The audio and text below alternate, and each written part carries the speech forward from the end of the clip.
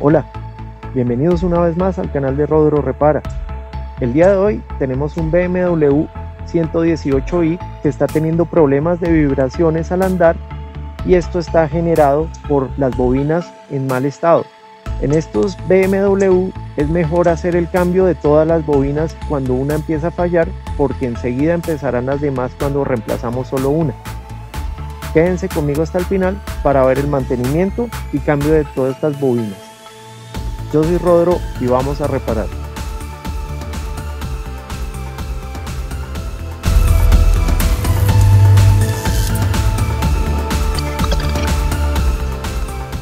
De acuerdo a la acogida que tuvo la encuesta realizada hace unos días, con este video comenzaremos una sección donde estaré revisando autos de suscriptores que estén teniendo problemas.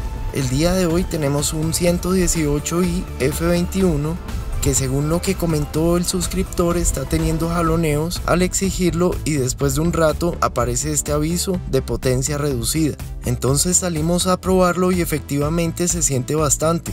Después de la prueba le corrí un escaneo que me arrojó problemas de misfire en el cilindro número 4 y otros códigos de misfire en varios cilindros. Normalmente esto ocurre debido a que las bobinas ya se encuentran en mal estado, algunas personas reemplazan únicamente la del cilindro que nos indica el escáner para después de un tiempo encontrarse con que comienza a fallar alguna otra, volviéndose este problema persistente si no se reemplazan todas las bobinas y bujías de una vez.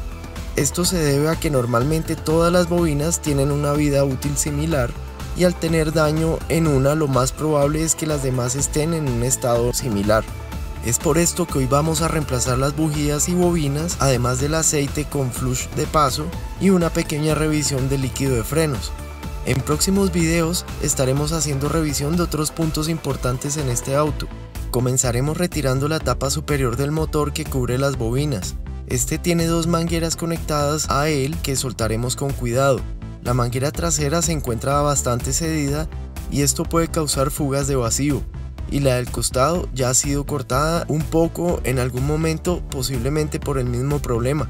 Estas mangueras serán reemplazadas en la próxima revisión donde detallaremos más a fondo el auto. En este punto ya tenemos acceso a las bobinas y comenzamos a retirarlas. Antes de sacar las bujías daré una limpieza a toda la zona para evitar que entre polvo en los cilindros y de paso que el auto quede con una buena apariencia. Esta limpieza es muy sencilla de hacer por el estado del auto que está bien conservado, pero tengamos en cuenta de no meter este polvo a los orificios donde van las bobinas. ¿Cómo que no?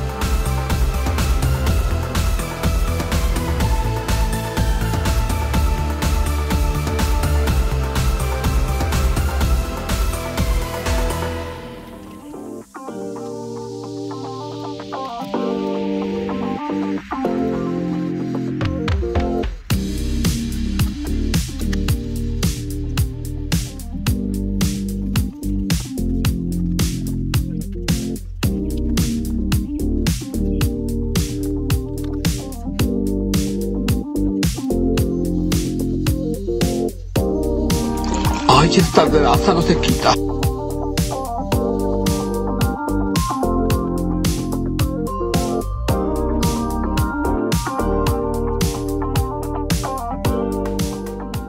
Una vez limpio sacaré las bujías. Antes de esto recomiendo soplar los orificios con aire comprimido o con un compresor. Yo lo hice pero antes de grabarlo me quedé sin batería en la cámara y por eso no quedó en el video. Esto es importante para que al sacar la bujía no entre ningún residuo al interior del cilindro. ¡Demonios! ¡Eres realmente un genio! Como vemos las bujías están bastante mal, además de las bobinas debemos cambiarlas de una vez. Y se perdió.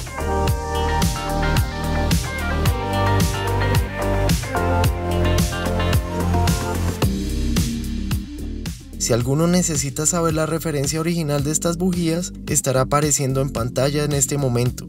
Sí, bueno, ¿quién tiene hambre?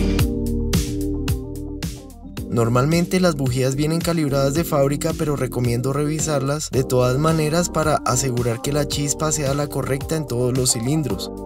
Enroscamos las bujías a mano hasta donde lo permitan y después con un torquímetro las apretamos a 23 Nm cada una. Es importante hacerlo correctamente para evitar que queden sueltas o que al apretar demasiado se dañen las roscas en la culata.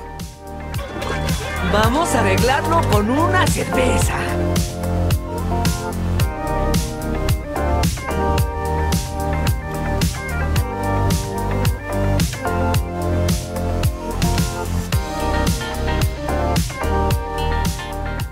Terminando de apretar las bujías, colocaremos las bobinas nuevas. Recomiendo usar un poco de grasa de silicona dieléctrica para los capuchones de silicona. Esto porque con la temperatura y el tiempo suelen quedarse pegadas a la bujía y sacarlo se vuelve tedioso. Yo giro un poco la bobina para que se lubrique la bujía y esparza bien la grasa de silicona. Después de tener todas las bobinas colocamos la cubierta del motor y conectamos las mangueras. Ahora vamos a realizar el flush del motor para luego cambiar el aceite. Como recuerdan en otros videos aplicamos el líquido para el flush y dejamos andar al motor a ralentí durante 10 minutos.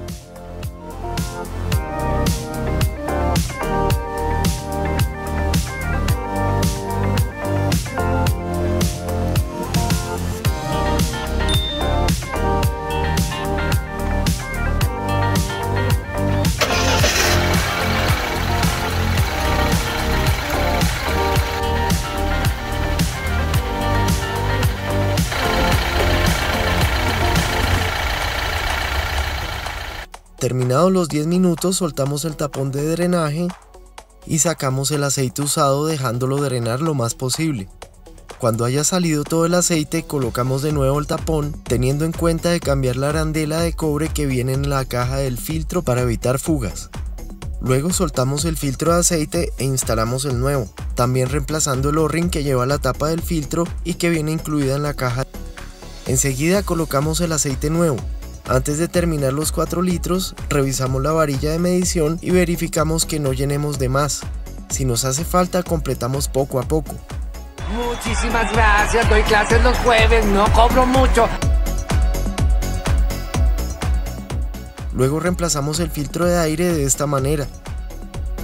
Este muchacho me llena de orgullo.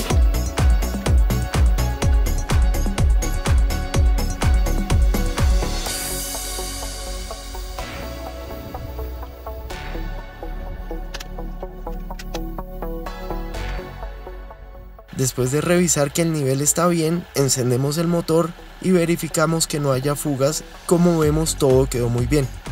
Es importante cambiar esta manguera porque al haber sido recortada no queda sobre las guías que debería y queda muy cerca al turbo degradando el caucho aún más.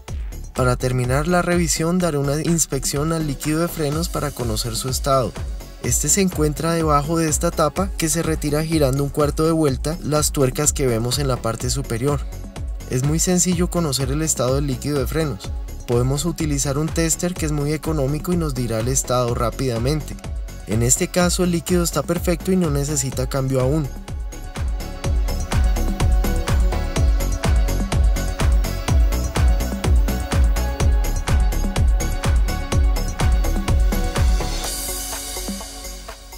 Volvemos a colocar la tapa y ahora iremos a probar que todo funcione bien.